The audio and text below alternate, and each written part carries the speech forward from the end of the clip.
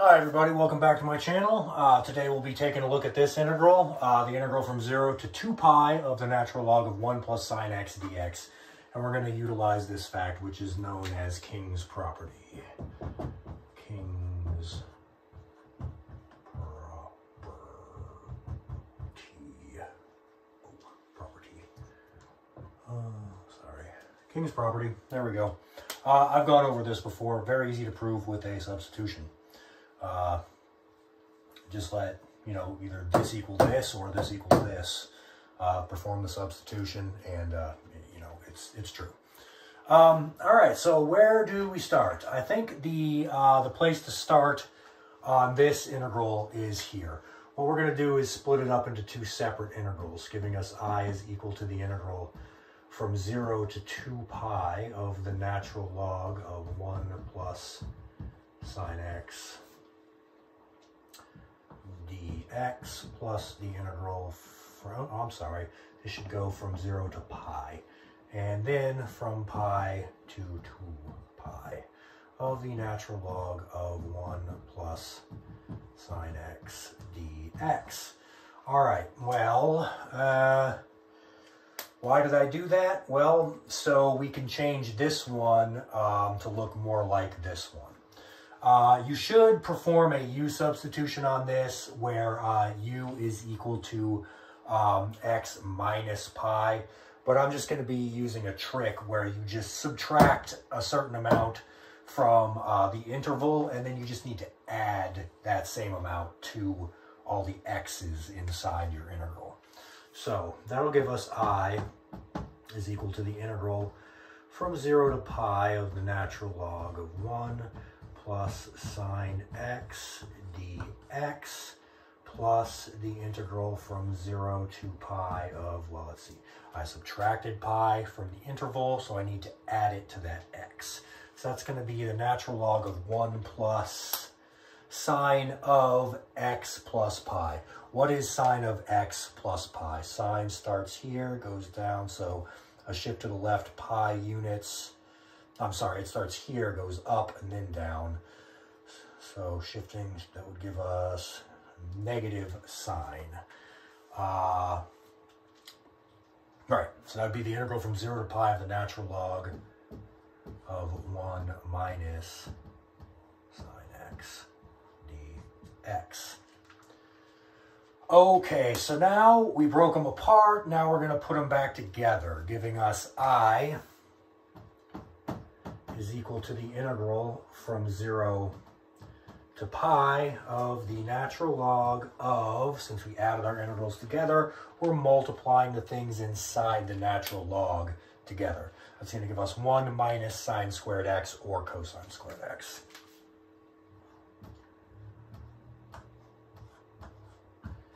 Now, it might be tempting here to use the properties of logarithms again to bring that 2 outside. Um, you really shouldn't do that because then you have 2 times the integral from 0 to pi of the natural log of cosine x. And uh, on the interval 0 to pi, uh, the cosine function is not always positive. Um, and you don't want to take the natural log of negative numbers um, usually. Uh, so we're going to leave it like this. And then we are going to break this up like we did before on this one. So we're going to say that i is equal to the integral from 0 to pi over 2 of the natural log of cosine squared x dx plus the integral from, I'm sorry, pi over 2 to pi of the natural log of the cosine squared x dx. And then we will subtract pi over 2 from the interval and add it to the integrand. So that will be, see, 0 to pi over 2. Let's see, cosine of x plus pi over 2. Cosine, and then you shift it, so that'd be negative sine x, but we're squaring it. So that's just going to be sine squared x.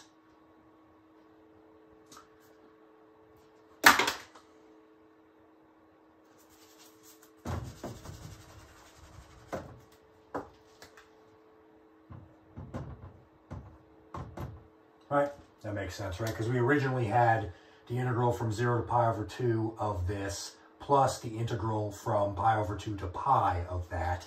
We subtracted pi over 2 from the interval, meaning we had to add it onto our x. this was originally a cosine squared x, which became a cosine squared of x plus pi over 2. In other words, sine, uh, negative sine x squared, which is just sine squared x. Okay, now we can utilize King's property um, to show that the integral from 0 to pi over 2 of the natural log of cosine squared x dx is equal to the integral from 0 to pi over 2 of the natural log of sine squared x dx. Because if you, uh, this would become the integral from 0 to pi over 2 of the natural log of cosine squared of pi over 2 minus x. Cosine of pi over 2 minus x is sine x. Then you square it to get sine squared x. Again, I'll go over that one more time. We're trying to say that these two things are equal. And they are because utilizing King's property, this one becomes the integral from 0 to pi over 2 of the natural log of natural log of cosine squared of 0 plus pi over 2 minus x. In other words, pi over 2 minus x. Uh, in other words, sine x. Then you square it. So these two things are equal. So we can just say that it's equal to 2 of one of them.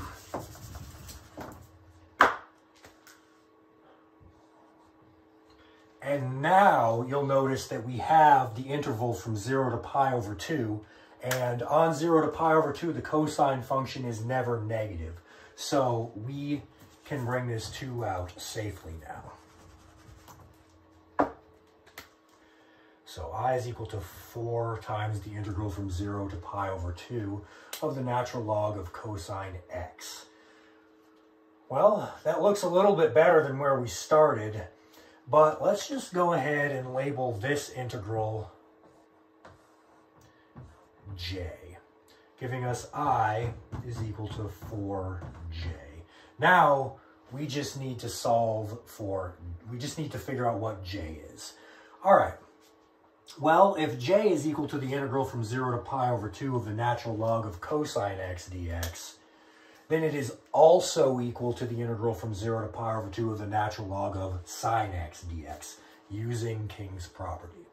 Because the integral, if you applied King's property to this, again, you would get the integral from 0 to pi over 2 of the natural log of cosine of pi over 2 minus x. Cosine of pi over 2 minus x is sine x. So um, j is not only equal to this, it is also equal to the integral from 0 to pi over 2 of the natural log of sine x dx. So that would give us 2j is equal to the integral from 0 to pi over 2 of the natural log of this plus this when King's property is applied to it. In other words, cosine x time, cosine x times sine x. I hope you're all following this.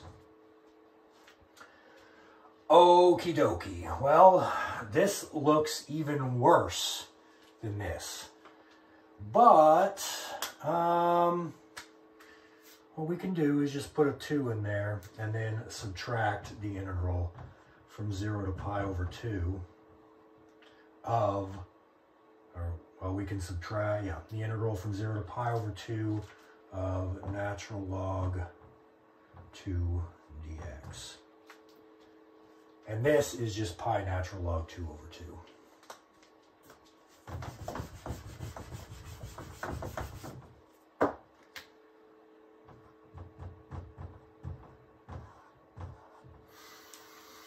Okay, and the reason I put that 2 there to begin with was because now this just becomes sine 2x.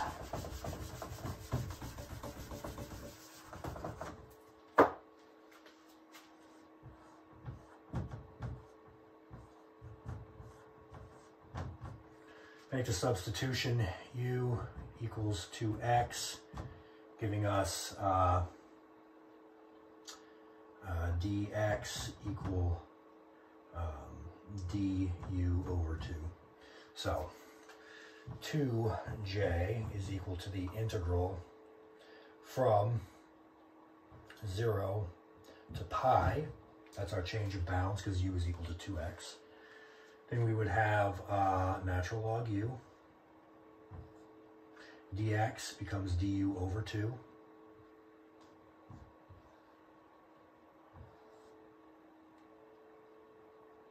No, that's not natural log u. Natural log of sine u. Sorry. Natural log sine u du. All right, did I do that right? u is equal to 2x, so our bounds change from 0 to pi instead of 0 to 2 pi. This 2x becomes a u, this dx becomes a du over 2, so that's right. But we still need this minus pi natural log 2 over 2.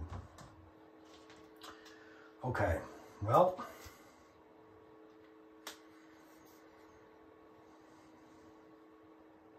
now we're going to have to split this one up into the integral from 0 to pi over 2 plus the integral from pi over 2 to pi. So let's erase some stuff over here. We don't need this anymore, I don't believe. We already know that i is equal to 4j, and we're working on j right now. So once we find j, we just multiply it by 4. So we can erase all of this.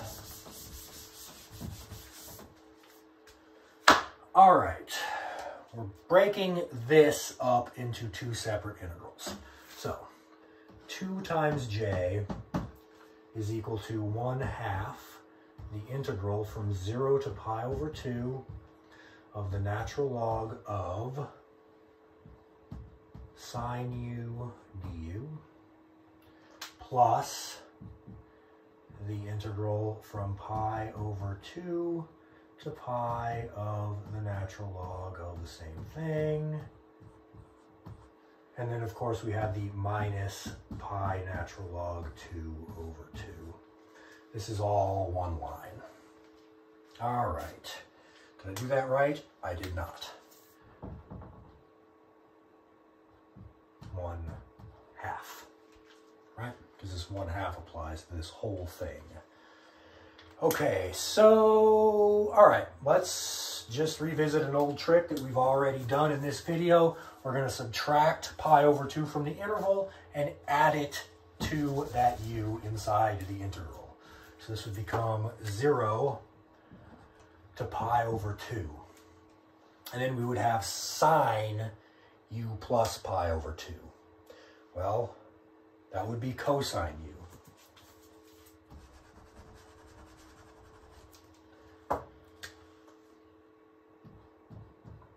Well, we've already shown that the integral from 0 to pi over 2 of the natural log of sine u du is equal to the integral from 0 to pi over 2 of the natural log of uh, cosine u du. In other words, these two things, this and this, are the same thing. So it's just 2 times one of them. So we can just get rid of that 1 half and erase this entire half right here.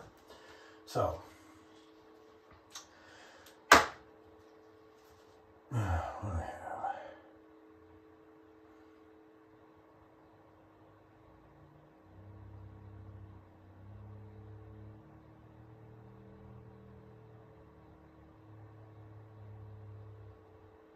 Ah, yeah.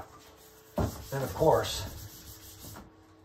we would bring this minus pi natural log 2 up here to make it one line. All right. Well, don't forget, J is this thing right here, and we know that this is the same as this. Um, so, in other words, J is equal to or I'm sorry, 2j is equal to j minus pi natural log 2 over 2. Subtracting j from both sides, we just get that j is equal to negative pi natural log 2 over 2.